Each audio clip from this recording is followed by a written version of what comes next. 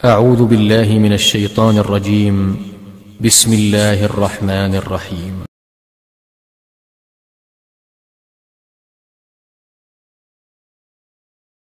இன்று குர்ஆனையும் நபி ஸல்லல்லாஹு அலைஹி வஸல்லம் அவர்கள் காட்டித் தந்த வழிமுறைகளை மட்டும் பின்பற்றினால் போதும் என்பவர்கள் இருக்கின்றார்கள் ஏன் நபி ஸல்லல்லாஹு அலைஹி வஸல்லம் அவர்கள் காட்டித் தந்த அந்த சுண்ணத்துகளிலே தங்களுடைய கருத்துக்கும் தங்களுடைய சிந்தனைக்கும் ஒத்து வருகின்ற விஷயத்தை மட்டும் எடுத்துக்கொண்டு மீதமிருக்கின்ற எல்லா விஷயங்களையும் புறக்கணிப்பவர்களும் உண்டு. எல்லாவற்றிற்கும் மேலாக எங்களுக்கு குர்ஆன் மட்டும் போதும் அப்படின்னு சொல்லிட்டு மீதம் சுண்ணத்தையும் சரி சல்லல்லா அலிஸ்லம் காட்டி தந்த அந்த சுண்ணத்தையும் மேலும் சஹாபாக்கள் காட்டி தந்த அந்த வழிமுறைகளையும் நாங்கள் பின்பற்ற மாட்டோம் என்று கூறுபவர்களும் உண்டு. உண்மையிலேயே அது குர்- குர்ஆன் மட்டும் ஒரு மனிதனுடைய வாழ்விற்கு போதுமானதா?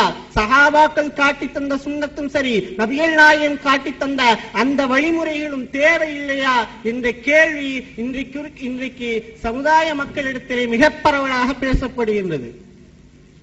முதலிலே அல் குர்ஆன் மட்டும் போதும் நபி ஸல்லல்லாஹு அலைய செல்லம் அவருடைய சுண்ணத்து தேவையில்லை என்பவர்கள் நன்றாக விளங்கிக் கொள்ள வேண்டும்.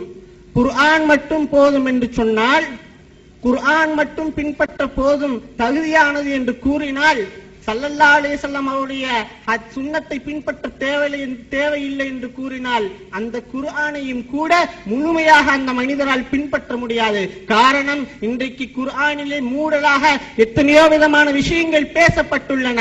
அவற்றின் விளக்கம் நபி சல்லல்லா அலைஹி அவருடைய வாழ்வியல் வ- வழிமுறைகளில் அமைந்திருக்கின்றன.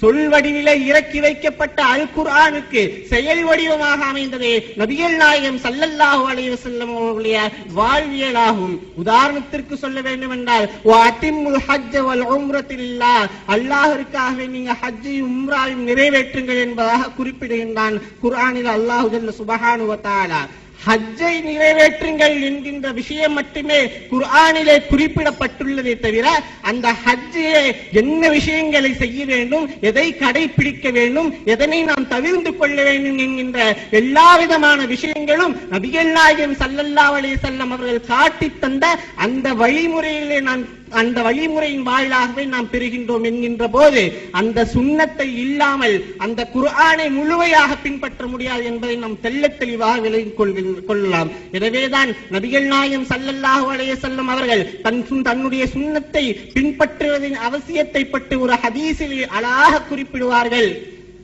தன்னுடைய தோழரிடத்திலே கூறுவார்கள் என்னுடைய சமுதாயத்திலே மறுப்பாளர்களை தவிர எல்லா நபர்களும் சொர்க்கத்திலே புகுவார்கள் என்று கூறும்போது தோழர்கள் கேட்பார்கள் யார் சூழல்லா ஒமையாவா மறுப்பாளர்கள் என்றால் யார்? என்று கேட்கும்போது சல்லல்லா அலிஸ்லம் கூறுவார்கள் மன் அத்தாஅனி தகலல் ஜன்னா ஒமன் அசானி ஃபகத் அபா. எவர் என்னை பின்பற்றி என்னை எனக்கு வழிபட்டு நடக்கின்றார்களோ அவர் சொர்க்கத்திலே நுழைவார். மேலும் எவர் எனக்கு மாறு செய்கின்றாரோ அவர்தான் மறுப்பாளர் என்பதாக கூறுகின்றார். இது போன்ற பல்வேறு விதமான ஹதீஸ்கள் சல்லல்லாஹு அலைவ செல்லம் அவருடைய சுண்ணத்தை கடைபிடிக்க வேண்டும் என்கின்ற அத்தியாவசியத்தை உணர்த்தி காட்டுகின்றது.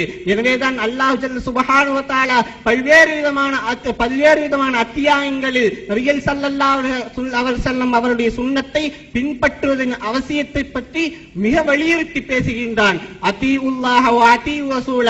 அல்லாஹ்வுக்கும் ரசூலுக்கும் நீங்கள் வெளிப்படுங்கள் மன் யு- மன் யுதீஉ- அத்தா அல்லாஹ். எவர் சல்லல்லா அலை செல்லம் அவர்களுக்கு வெளிப்பட்டாரோ அவர் அல்லாவிற்கு வெளிப்பட்டவன் ஆவான் என்று சல்ல- அல்- நம் அல்லாஹ் ஜல்ல சுப்ஹானஹு பல்வேறு விதமான விஷயங்களில் பேசியுள்ளான்.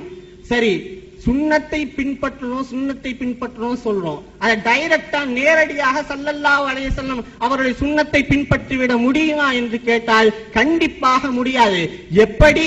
நபியல் நாயம் சல்லல்லா அலைஹி வஸல்லம் அவர்கள் சுண்ணத்தை பின்பற்றாமல் குர்ஆனை முழுமையாக பின்பற்ற முடியாதோ அதே போல்தான் சஹாபாக்கள் தாபியன்கள் இமாம் பெருமக்கள் புகஹாக்கள் அவர்கள் வகுத்து தந்த அந்த வழிமுறைகளை பின்பற்றாமல் சல்லல்லாஹு அலைவசல்லம் அவருடைய சுண்ணத்தை முழுமையாக பின்பற்ற முடியாது.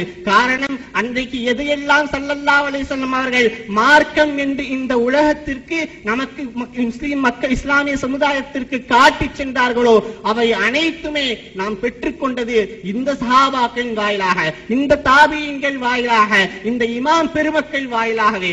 ஒருவேளை நான் சல்ல நான் சல்லல்லா அலிஸ்லாம் அவர்களுடைய சுண்ணத்தை பின்பற்றுவேன்.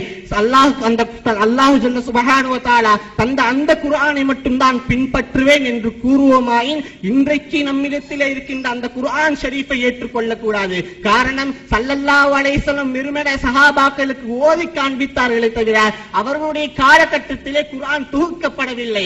சகாபாக்களால் தொகு ஒன்று திரட்டப்பட்டு தொகுக்கப்பட்டு இருக்கின்றதே இன்றைக்கு இருக்கின்ற நம்மிடத்தில் குர்ஆன் ஷரீஃபாகும். இன்றைக்கு புகாரி முஸ்லிம் போன்ற பல்வேறு விதமான ஹதீஸ் கிதாப்களை ஏற்றுக்கொள்ளக்கூடாது.